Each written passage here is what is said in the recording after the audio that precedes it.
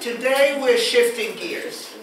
You know what it means to shift gears. And we're moving from Russia, Eastern Europe to New York. Even though the play that hopefully you've read, Marilyn Gordin, um, Mirele Efros by Gordin, uh, takes place um, here, it was written there. And I want to give you a little bit a background um, because, you know, Yiddishists tend very often to talk about the kind of Yiddish land where everything Yiddish belongs to the same territory. And I don't always share this opinion. Yes, of course, there's much that is the same, but on the other hand, um, what you have when you um, deal with the United States, with America, is the whole process of immigration. And that changes many things. It changes perspective, it changes sensitivity, sensibilities by nature. But let me just go back very, very quickly to, for a quick summary how it all begins. Yiddish theater begins in 1876, do you know where, in what country? In Romania. Uh, in a town called Yash, or Yassi, in, in uh, Jewish text. Why does it start there? How does it start there? Because it's the eve of the, uh, of the war. There is a local Jewish population, but there are also many uh, Jewish merchants who come to town trying to see if there's some business. Before the war, there's always business. There's a local wine garden, a Jewish uh, wine garden, where two musicians, two singers perform. Comes to town a gentleman called Abraham Goldfaden, Avrom Goldfaden. It's a name to remember because uh, he's a writer.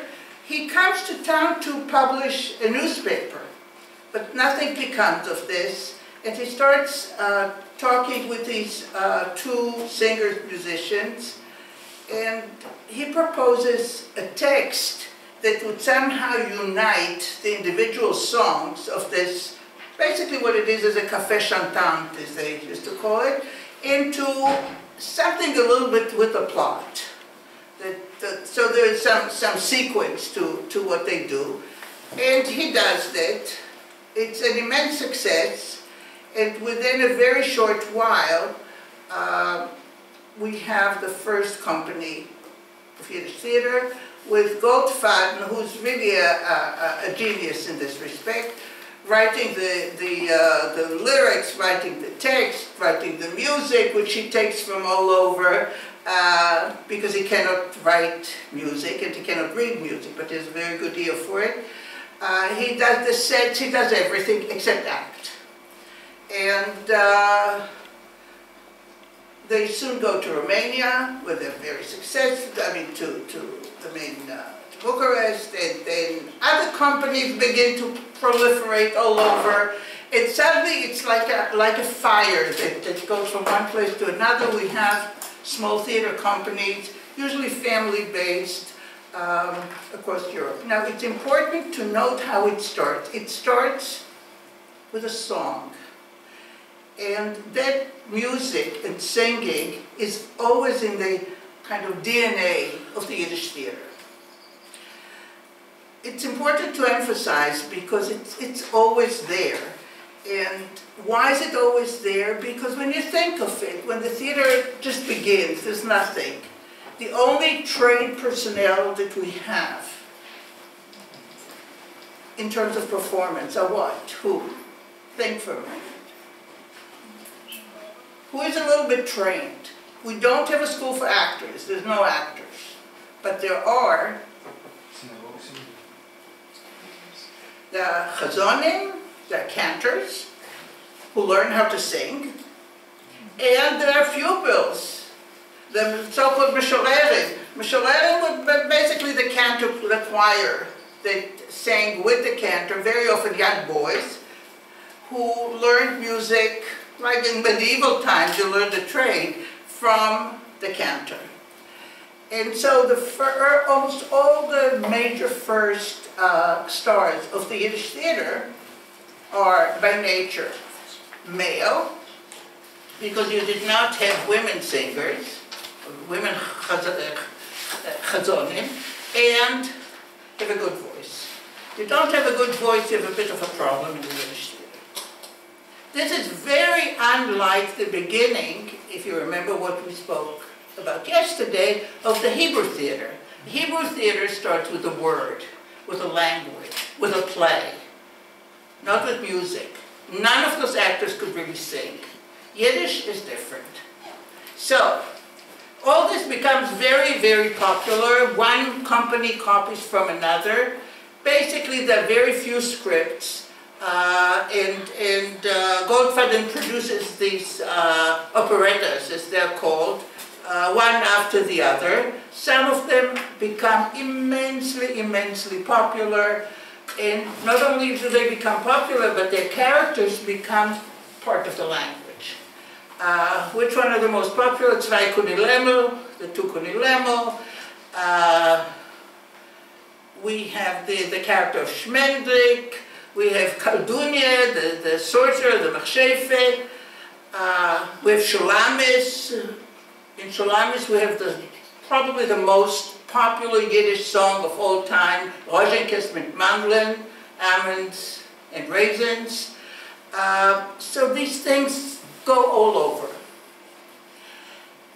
It doesn't take long for this to arrive in the United States in America. What happens in the United States after 1881?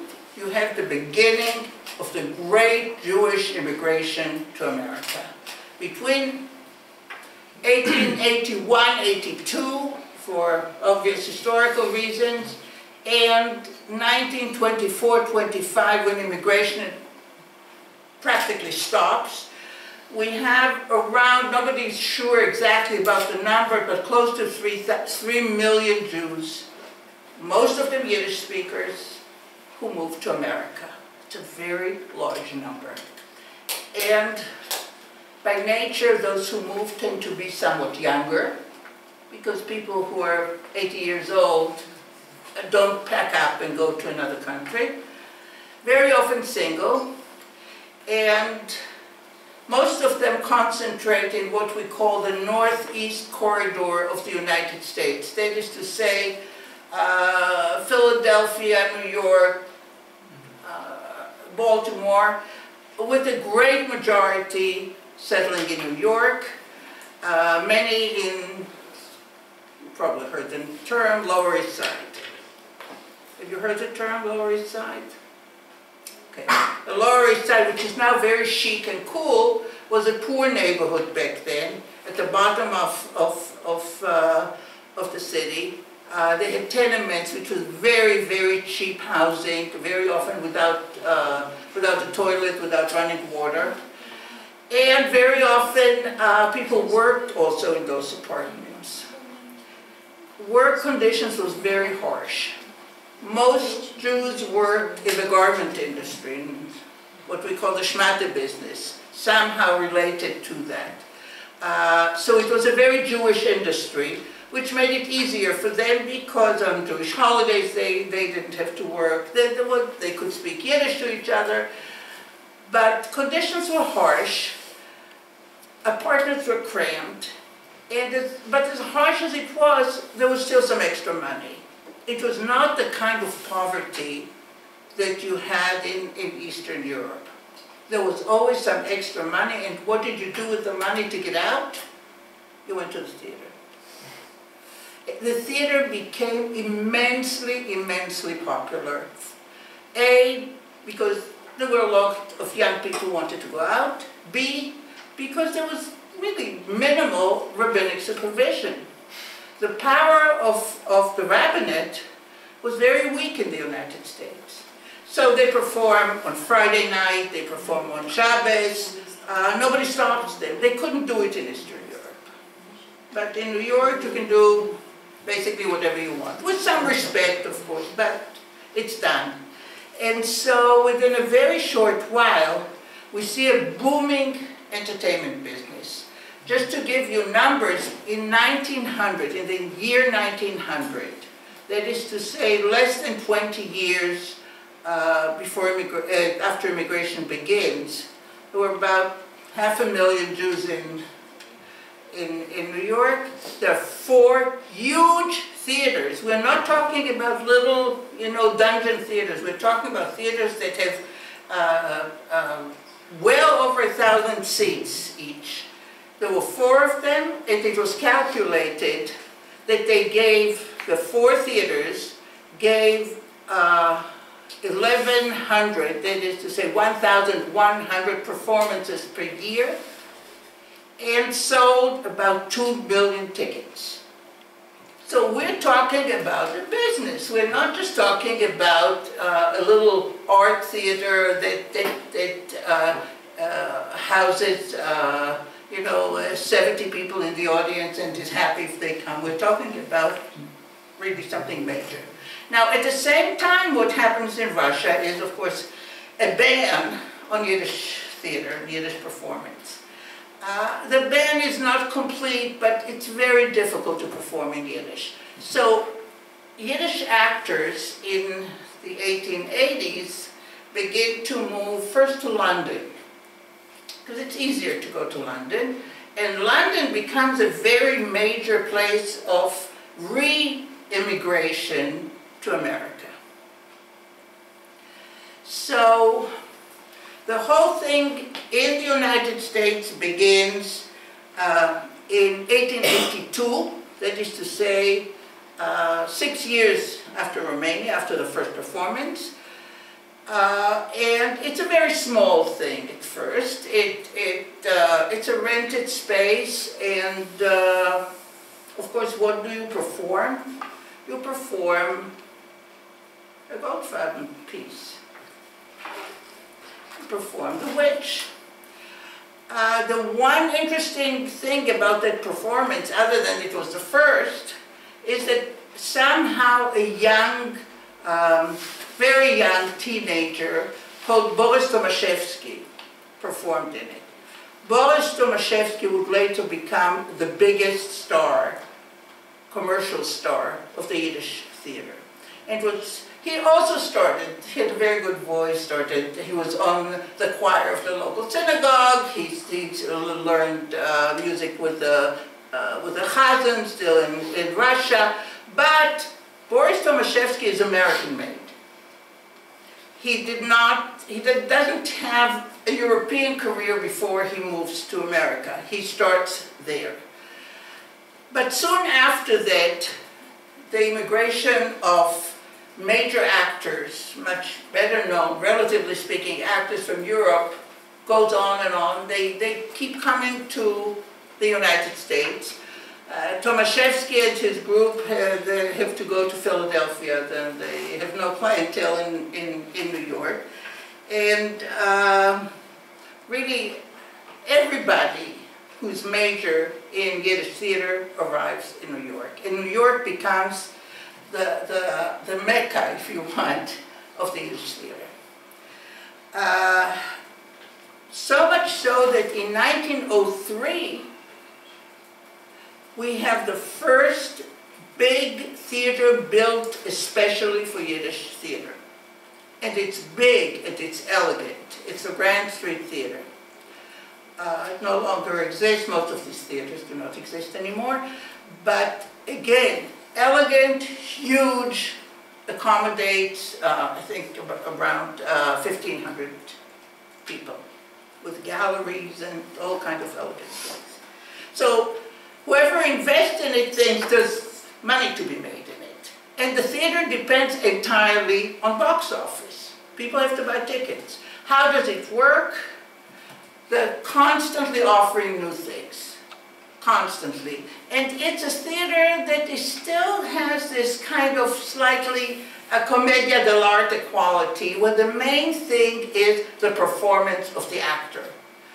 The texts are written constantly, are provided on an ongoing basis, um, usually uh, by, no, well, I wouldn't say usually, but mostly by two writers, one whose name is Lateiner, the other one is Horovitz, who produce plays the way, you know, when they they make fun of today, but the truth is they write the way today we write for television.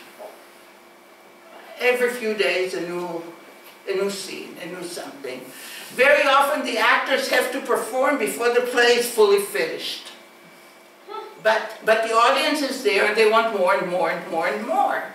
Remember, these are days when there's no television, there's no radio, there's, this is it. This is entertainment. And so the emphasis is on the performance of the actor. And if he doesn't remember his line so well, so he doesn't remember his line, so he adds, he changes it a little bit. Uh, if he sees that the audience is a little bit tired, uh, uh, Thomashefsky starts singing a song about the Mamet, uh, which has nothing to do with the play. Um, a lot of stage effects. One, and there's a lot of competition between the, the, different troops. Everybody tries to upstage the other. I have one crown, the other one comes with two crowns. I, I have a, a, play on, on something, the other one, uh, Shlomo HaMelech, the other one has, uh, a, a, week later, Shlomo, Shlomo HaMelech and, and his wives. Constant, constant competition. Um, the Yiddish newspapers don't write much about them because they look at it as something so popular and so, so not artistic that, you know, you get more material sometimes from the English language newspaper than from the Yiddish newspapers. Well, one of the major actors who come to America is Jacob Adler. Jacob Adler his, his career in London already, and he known, known as the Nesher HaGadol, the great Adler. And he's a very imposing actor. He doesn't have a great voice. He can sing, but he's not much of a singer. And he yearns for dramatic literature. He admires Russian culture. Uh, he knows it. And he's looking for something with more substance. And so are the, uh, the, the uh, intellectuals who write for the Yiddish press who begin to notice you know, this is really an important phenomenon. We should pay attention to it. So, whom does he meet? He meets by some arrangement in a, a local coffee shop, uh, Jacob Gordin. Jacob Gordin had just come to, sorry, from Russia the year is 1891, and Adler is very impressed and says, write a play for me. Gordin never wrote a play before. And Gordin writes a play for Adler, and this would remain throughout his career. He wrote plays for an actor. The play is called Siberia. Can you imagine more or less the story? The audience doesn't like it, they shush it, they don't want it. It's a total failure. But Adler still believes in him. He said, write me another play. And Gordin writes the Yiddish König Lear, the Jewish King Lear. And the Jewish King Lear becomes a phenomenal success.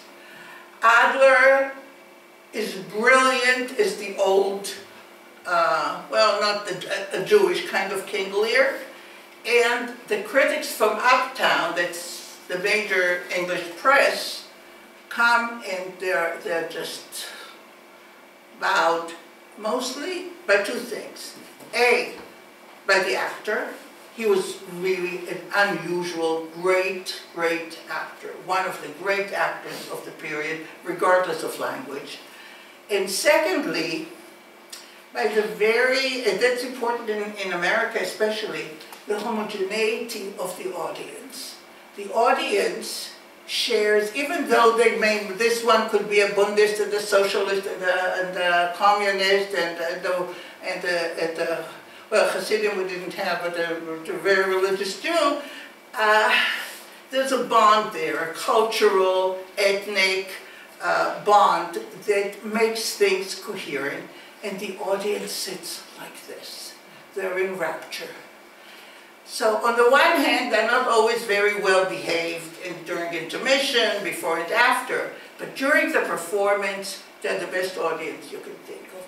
And the, the, the writers noted that in an audience that that comes from various places, that doesn't share necessarily the, same culture, you cannot have this strong bond between stage and auditorium. It's, it's like electricity in the, in the, in the air. And this is when a great career begins. Now, if you, a few words about Jacob Boyd. We'll see him in a minute. Uh, I don't know if you read it, but in the material sent to you, uh, there's an essay by Melech Epstein that is taken from a book called The 11 uh, Men Who Guided the Destiny of the Immigrant Community in America. And Gordin is one of them, which is not a simple thing because there were some very, very major figures there. So, uh, what is the point? Why is Gordin so important? Because Gordin is, is really a pivotal figure, pivotal, you know, uh, not just in terms, primarily in terms of the theater, but he's also a kind of student of Tolstoy, a follower of Tolstoy. He comes to America with agrarian ideas, with a, with a group called Am Olam, uh, that originally wants to settle and work the land and, it doesn't quite work out uh, very well. Um, he's an intellectual. He's a socialist, a committed socialist, and he's a tough person to deal with. And he comes with the Yiddish is not so great. Because originally he tries to make a living writing for the Russian press in New York. But cannot make a living from that. from the theater, you could earn very nicely. And that's how his writing career begins. Now, when he comes to the Yiddish theater, he says, this isn't theater. I, this is not what it should be. First of all, he says, the actors have to learn the text by heart. They, they cannot do what they do here. They have to speak what I write, and they cannot deviate from that. B, there was this custom of so-called Deutschwillig. Deutschwillig was a kind of fake high German for more important characters. So that the low characters spoke plain Yiddish, and those who were more, you know, uh, princes and kings spoke Deutschwillig. Enough with it, gone. We're not doing Deutschwillig. We speak decent Yiddish, decent language here. Third, you come to rehearsals, and you come to rehearsals on time, and you behave in a professional way. Well, at first the actors rebel against it, and not, it, it, it was a much, uh, I wouldn't say circus, but it, it was a much more fluid and open culture that he puts an end to. He completely changes the culture of the Yiddish theater. And uh, he writes most of his plays about life in the old country, but he touches on all kinds of emotions, conflicts that are maybe felt in a much stronger way in an immigrant society. Because you have to understand what happens in an immigrant society. Well, you tell me what happens between parents and children? Children becomes more like American. The children are more American. They have to show the parents how to do things, not the other way around. You know, it's like with, the, with all the gadgets nowadays, where, where you show your, your parents how to deal with the iPhone, not the other way around. Uh, where people are confronted from the moment they set foot in a new world with new people, with new sounds, with new, new landscape, with these tall buildings, with all kinds of things that they, where did they see a Chinese person before? Where did they see a black person? Where did they meet Italians before? Italians lived right next to them and very often worked with them in the garment shop. So Everything is new, the smells, the language, the, the, uh, the food, whatever. And as one historian put it very nicely, they came to stay. They didn't come to work for a few years, make money, and go back home. They came to America, they came to stay there. But there are all kinds of conflicts in terms of religion, in terms of what you should do and what you shouldn't do, in terms of money, in terms of control. All the old power relations that you had in the old country are going through some, some sort of a, a change, a shock in the new country. And so you could write about the old country, but you already have the sensitivities and the sensibilities of immigration. And the- this whole process of immigration, uh, in general, makes very much, in my opinion, a distinction, draws a line between the Yiddish uh, stage culture in Eastern Europe, because even if you're given a very hard time, let's say in Poland, you're not an immigrant in Poland.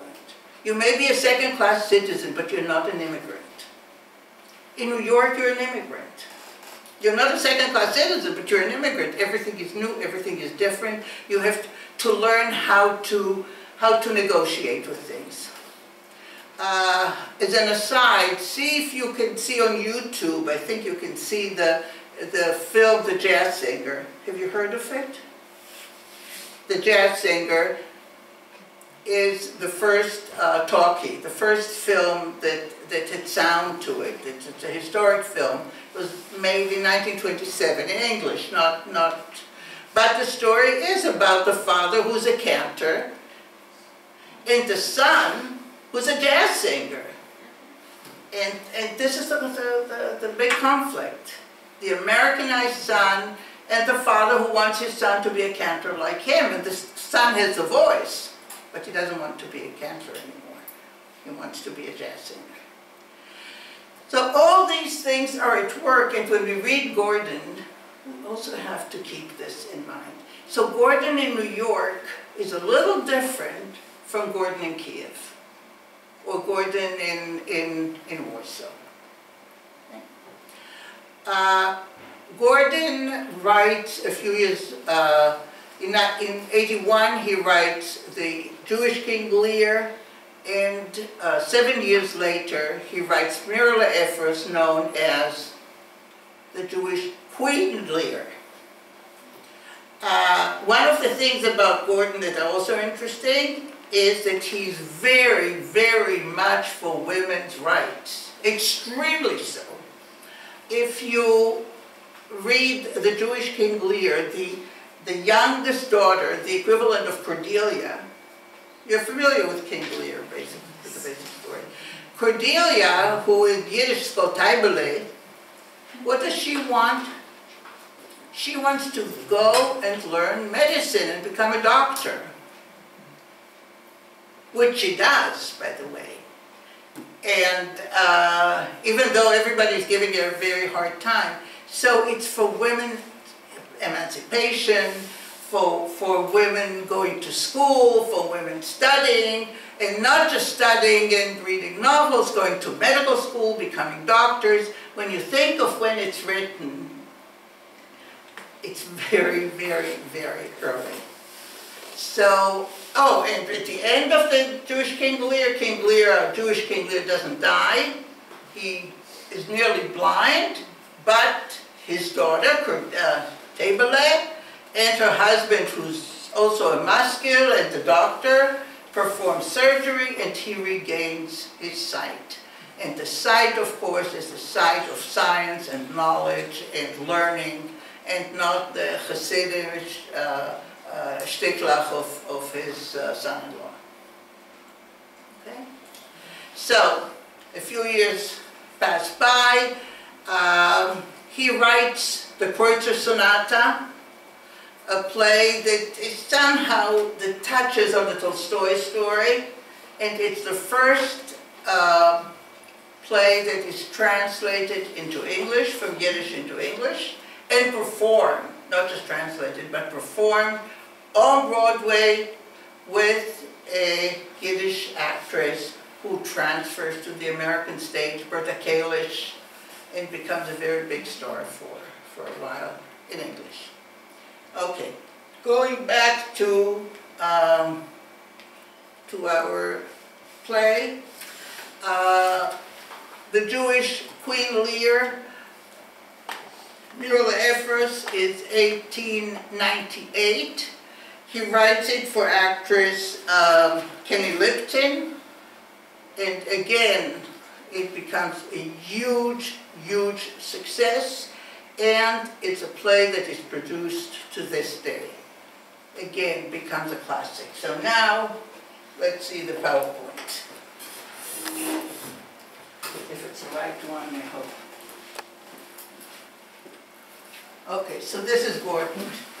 At first, you know, those who saw a picture of Herzl, when you see a bust of him, and there are many busts of him, uh, it's a little confusing. You're not sure who that person is, but that's Gordin. Okay, this is something very special. This is called my micrography. Have you heard the term before? Whoa. What is micrography? It's a portrait with letters, with, With Hebrew letters. with texts. I'm sorry? Not just read, not just any letters, with texts like poems or, or prose. But the idea is that you created out of letters. And this whole thing, done after he died, is the entire text of Mirele Efros. And if anyone can read a little Yiddish, here it says Mirele Efros. Speziell geschrieben für Madame K. Liptzin. Keni Liptzin, especially written for Keni Liptzin. And so to speak his last words, supposedly just before he died, he said, finita la commedia. I don't know if he really said it or not, but this is a beautiful, beautiful work. The original is a Evo. You can, this you can photograph. And um, it's, it's really very, very. And if you make, the bigger you make it, when you enlarge it, you begin to read the, the, the, the text of the play. This way it's impossible to read. Okay. So, uh, let me say this. Over the years, I told you, this play has become a classic. I don't think there is a major uh, Jewish actress who has not aspired, who, who did not play Mirele Efros. But uh, so much so that it, it's like a performance anthology over the last, I would say, uh, more than a hundred years. And each one reflects different styles, different uh, cultural norms, different situations. What was accepted then is not accepted 50 years later, is done differently, as is the case with classical plays, always.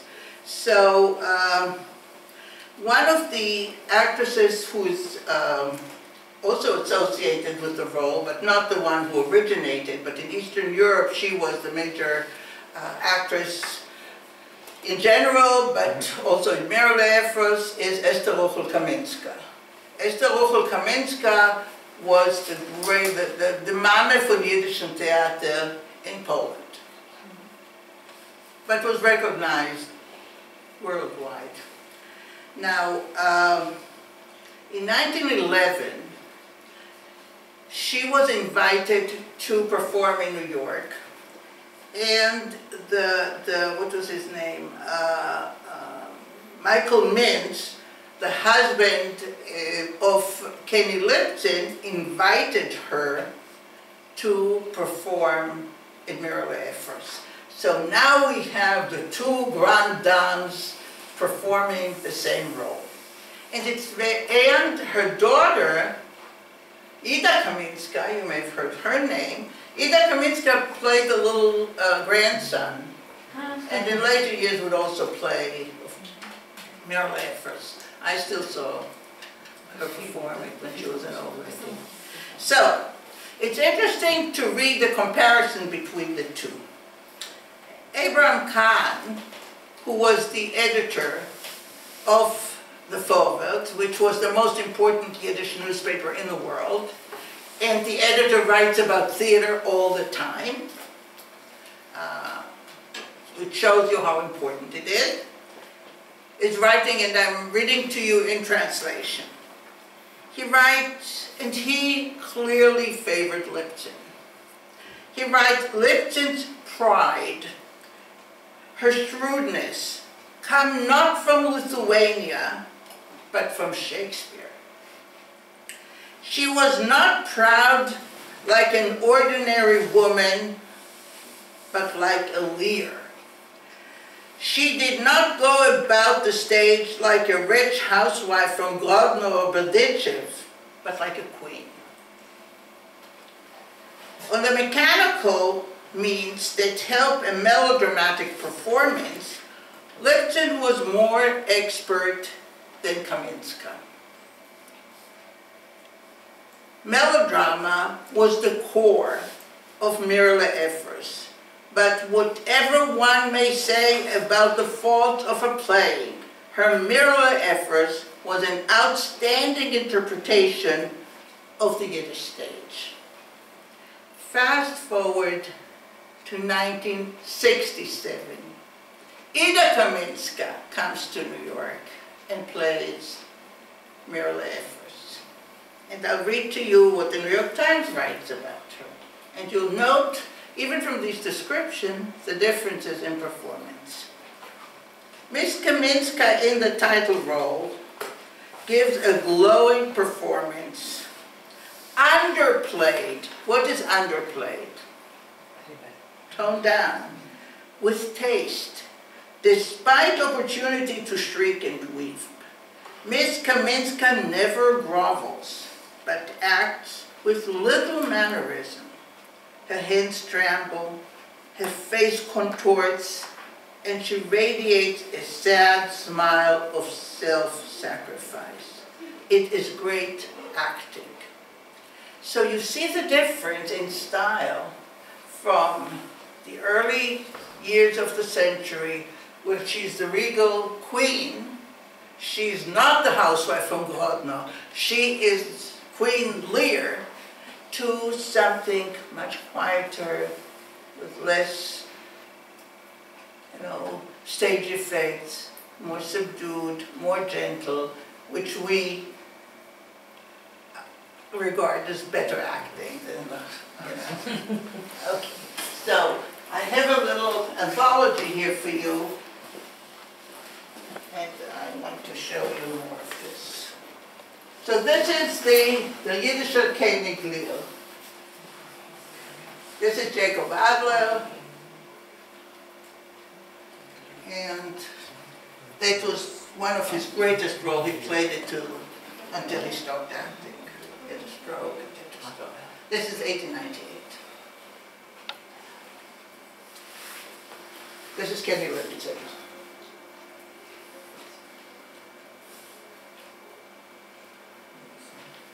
is Keni Liptzin. Okay. Uh, here we have a production in Poland. It, the play was produced all over the world. There is, uh, hardly a country where it wasn't done, in various languages. This is Ida Kaminska, Miralefos. Ida Kaminska in New York. Ah, oh, I moved it earlier, okay. This is a Spanish production. This is the film, we'll see a few scenes from the film. This is Hannah Rovina, remember Hannah Rovina from yesterday? Leole, the great star of Habima. We don't have, uh, we can't see the, of course, the, the, the performance, but we have a, a recording where you can listen to her. And I'll tell you, it, it really tears your heart when she says, I'm leaving. What she does with her voice is, is just really incredible.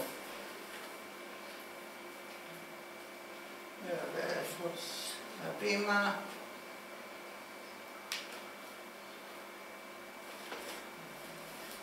quite a few productions. Now, 2014, at the Comedy Theater, which is the so-called younger theater in Israel, and, and uh, not so grounded in the old European uh, tradition, uh, East European tradition, with Gila Almagor, today's greatest actress of the Israeli stage, in the role of Miriam.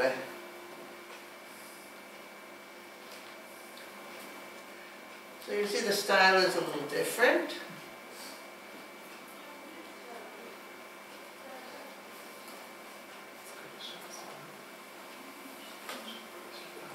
Remember the chess, chess playing the play, she plays chess, she's a smart woman.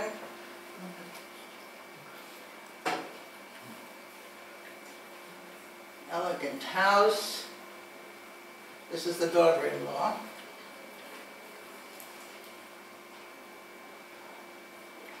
This, what scene is this? If you don't know what scene it is, you never read the play. Which scene is this? You never read the play. This is the last scene. The last scene when she comes home. This is the Yiddish theater in Israel. Same year, two Mirele Efros. A different look, very different look.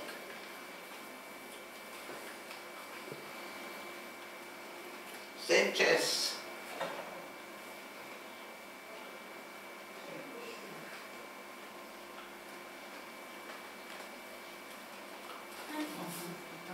This is a Russian language production. I think it looks a little more authentic in a way, more Russian than the other ones. The, this is the, the mother-in-law. This is a dramatic school where they produce it. It's why do I show you all this? To show it gets done again and again and again and again. And it becomes a testing ground for great uh, actresses, especially older ones. So, before we get into the play itself, what's it about? Who did read the play? Uh, uh, Irina has a question. Yeah, Whether these were only Jewish actresses? Mirale. So, so did, did, uh, did a non-Jewish actress ever perform Mirala? A good question. I, I, well, let me say that there was in Russia, when it, it was done in Russia in 1905, and there's an actress, I don't know if she's Jewish or not, in Russian called Miriam know. Uh, There was, uh, Irina says there was a Ukrainian translation of Mirala, Садовского театра э, «Любовь Леницкая». Замечательная Мирля Эфрос, и то есть у него не было такого еврейского сезона, но он ставил 10 пьес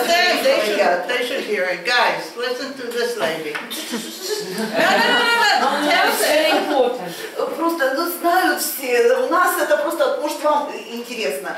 Э, может да, ну насчет э, вот этого, что в театре Садовского шло 10 А, пьес еврейского театра, Я, надо паузу надо делать, наверное.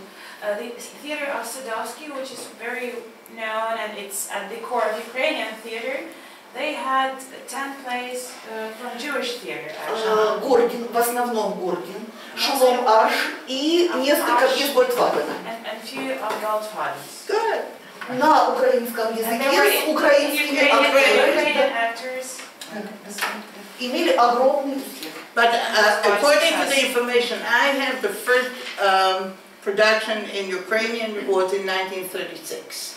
Она, э, у нее есть информация, что первая м, постановка на украинском была в 1936 году.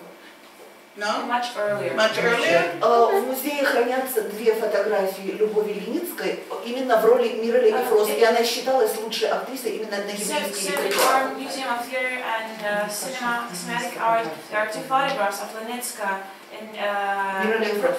and uh, uh, uh, Mirla Afros, and she was thought to be like one of the best. Кроме этого был еще убой, тоже Гордина, она Эстерку играла. То есть у нее был широчайший диапазон от девушек до Мироля, то есть вот э, именно в еврейском репертуаре. Uh, so um, uh, Niska was mostly uh, Эстерка. uh, the best as as as as, them. as uh, performing in uh, Jewish plays. Jewish plays, okay. And the play, but the play was also done in Italian, it was done in Spanish, it was done in, in Polish, it was really done uh, all over. 1936 is GOSET of Kiev. Uh, там уже Ада Сомс и Зинаида Мурованная, роли Мира Лефовца. And these were Ada Soms and Zinaida Murovana also performed. the role. It was much, much earlier in the Kunstwinkel. Okay, great. Это на Wonderful. идише, это на идише, а то на- Thank you. Спасибо. That I can say. Beyond that, I cannot say Так very much. приятно поделиться. Okay, so here's the question. It's an interesting thing about, what's the story of Lear? That I know you know, even if you didn't read it for class. What's the story of Lear? The King Lear.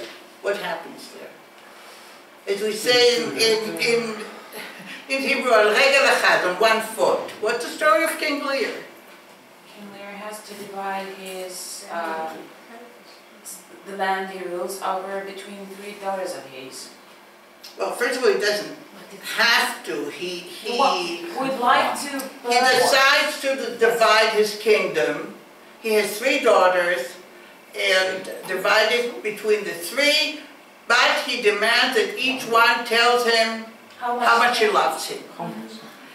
So the two older daughters, you know, perform that uh, ritual, and the youngest one refuses to do so because she doesn't really feel it, Cordelia, and uh, he writes her out.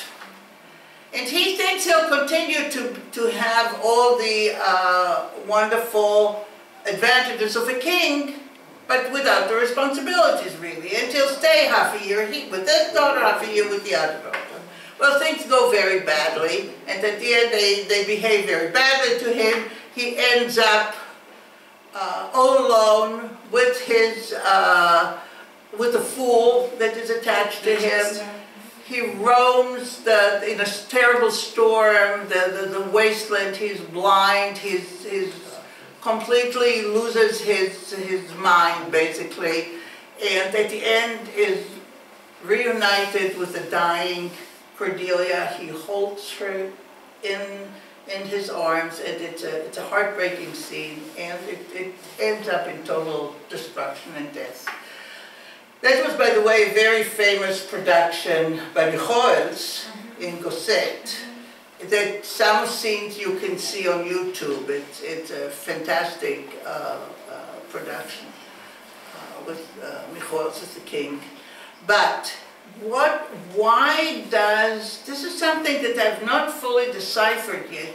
Gordin tends, in many of his plays, and he wrote many, to attach himself to a very famous work of the, uh, shall we say, European canon. I mentioned the Kreutzer Sonata, which is, you know, attaching himself to Tolstoy, to a very famous and very scandalous story. You're familiar with the Kreutzer Sonata, I suppose? Okay. Uh, Very famous work, uh, which is based on the Beethoven, uh, Beethoven music. Uh, he attaches himself, uh, God, man, and, and devil, uh, to a large extent, is based on the Faust uh, story. Here, he literally takes Lear and he creates the Jewish King Lear. And then he creates the Jewish Queen Lear, Mirele Efros. Why, why hold on to these famous works? Especially, we're talking about Shakespeare, we're talking about an English language country Shakespeare is second to God. And, and what, what are the dynamics here? I'm not entirely sure. Um, one reason is to teach the immigrant community about world culture. because those who read the play may notice that at some point the, the, the in-laws who are very posh Eden, very simple folks who have no, no information, no knowledge, no culture, uh, when they hear the name Mozart, they, they have no idea what, uh, what it means. And Mozart music, they, they, they think is matzah music. They- so there is this mission of the educator to teach about about the culture, the general culture, and, and make them more cultured. That's one explanation. The other explanation, I'm not entirely sure. Uh, it helps him in structuring his play, whatever it may be. It's a very interesting decision by a writer, even as he's getting very sure of himself, not at the very beginning, uh, to do that. One, uh, one thing that, that I could think of is not perhaps an American source, but a Russian source. Because at the time, um, Lear, Shakespeare in general, and Lear in particular, are very popular in Russia. There are reports um, of, uh, who was it, some famous, I don't remember his name offhand, uh, journalist who comes to Russia and, is amazed. He goes into some school in a village and the children learn uh, King Lear. So uh, it is popular, but even more so, what is interesting to me is, is the story by Turgenev about the Russian King Lear. And I'll read to you the, the beginning, and, and there's an interesting uh, point that is made here. And this is how the story begins. That's a translation from Russian into English. We were a party of six, gathered together one winter evening at the house of an old college friend. The conversation turned on Shakespeare, on his types, and how profoundly and truly they were taken from the very heart of humanity. We admired particularly their truth to life, their actuality. Each of us spoke of the Hamlets, with an S plural, the Othellos, the Falstaffs, even the Richard III's and Macbeth. The two last only potentially, it is true, resembling the prototypes whom we had happened to come across. And I, gentlemen, cried our host, a man well past middle age, used to know a King Lear. How was that, we questioned him. Oh, would you like me to tell you about him? Please do. And he begins to tell the story of a Russian uh, aristocrat and so on and so forth. So the idea of seeing reality through the lens of a fictional character is very interesting. Do we still do it? Yes. Oh, he's a real, finish the sentence.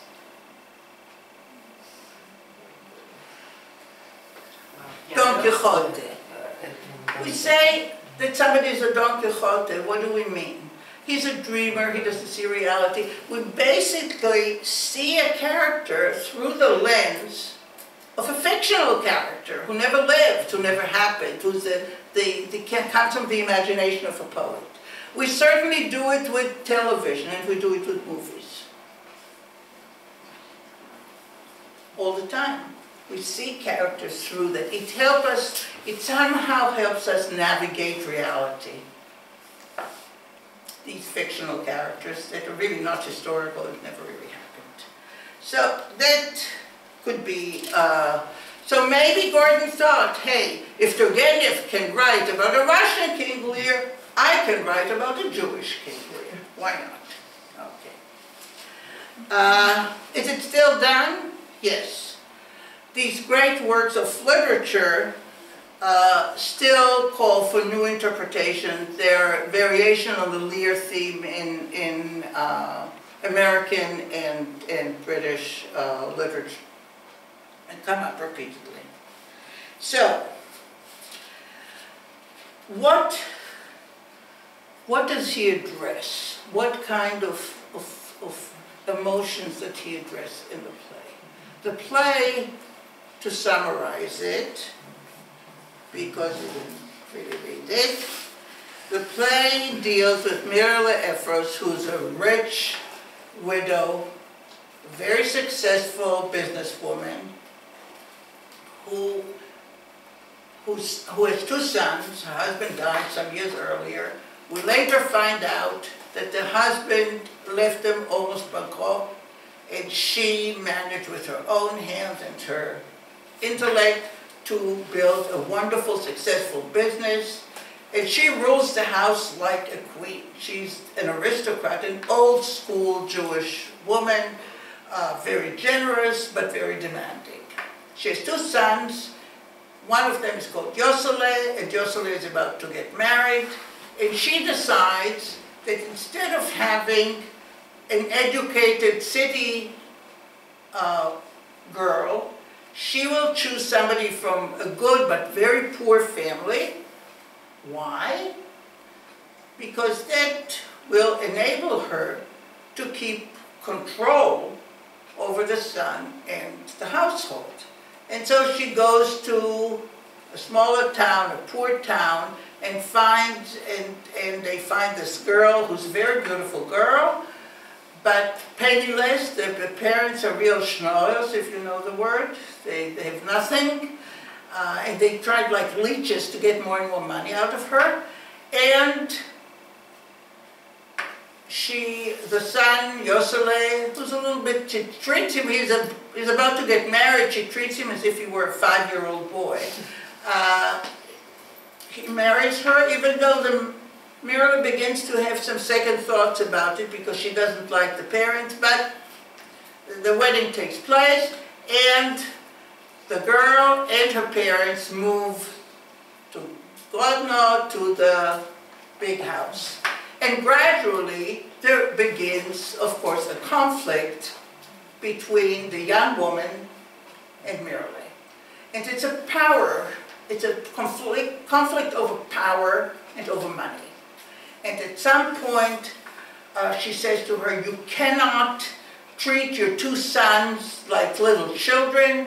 It's their inheritance and it's their money and you have to give it to them and let them live like men. And then Mirla comes up with a story, it's not really their money, it's my money, I made it, I'm the one who was successful, but things get worse and worse, and uh, there's a point where Mirla says, enough is enough, I leave the house. She leaves the house and goes to live with her uh, former financial assistance family, and she said, I don't care, I'll be a maid, I cannot live like that. And of course, once she leaves everything, the business doesn't work well, and all kind of nonsense that are being done, and it's, it's, she refuses to come back. It's also, of course, not a big honor for the family that the mother is left, but this is the way it is. Um, about 10 years pass by, she doesn't set her foot there. But then it's the grandson's bar mitzvah. And she says, I'm not coming, I'm not going. But finally, the, the very proud uh, daughter-in-law comes and pleads with her. And it's clear that it's not easy for her to come and ask for forgiveness and invite Mirla. And Mirla said, no, I will not come. But at the very end, the very, very end, the young boy who's named after the dead grandfather manages to bring Mirle, and she comes into the house and joins the festivities.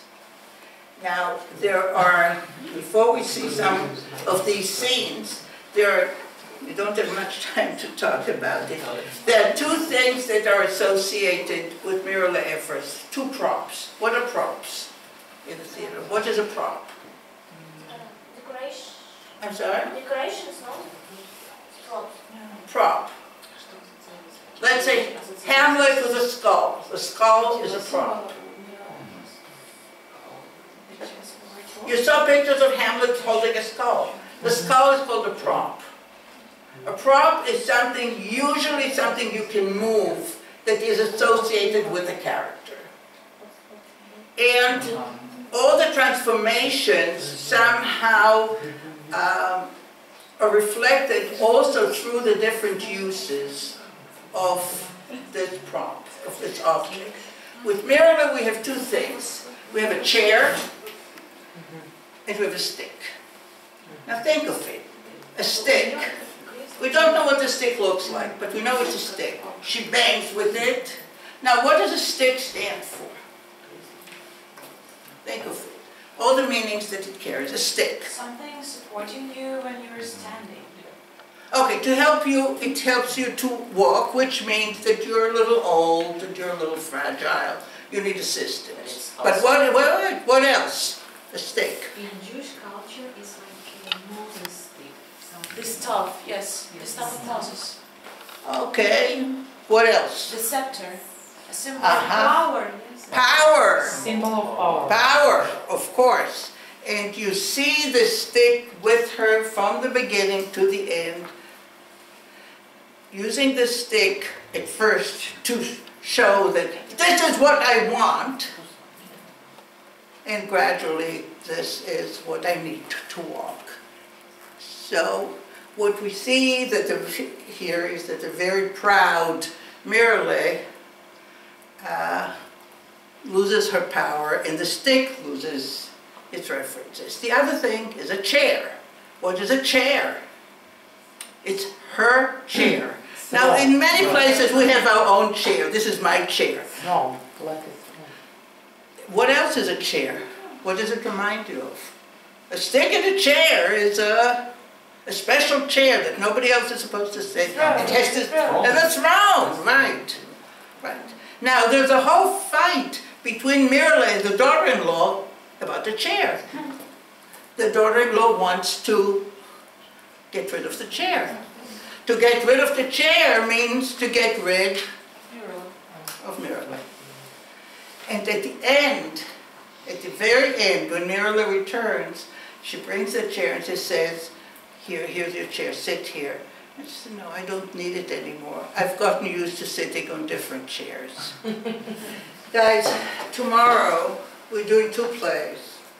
And we're doing two plays that, that are important also from an American perspective. And they're not related to each other at all, it's just that we have a double session. The first one is a God of Vengeance, which is a play that, that uh, is very much now in the news in the United States. And the other one is The Melting Pot. That's where the term, if you heard the term The Melting Pot, comes from. And it's a major, major play written in English, not in Yiddish. We're switching now to the other side. Uh, try to read it. Try to read it because we have no film there. Sorry. so uh, you'll need to, to know what the story is because we can't even read together in class. You have the text in Russian, I have the text in English. It doesn't come together. And God of Vengeance is a very, very strong play. Got fun Nekome.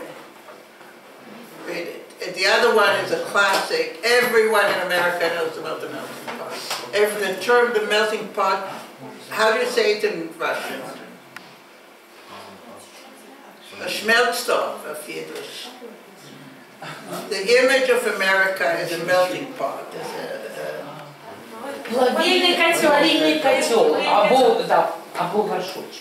a, that's a major image of the United States, and then comes from a Jewish play. So, Thank you. so try and read them.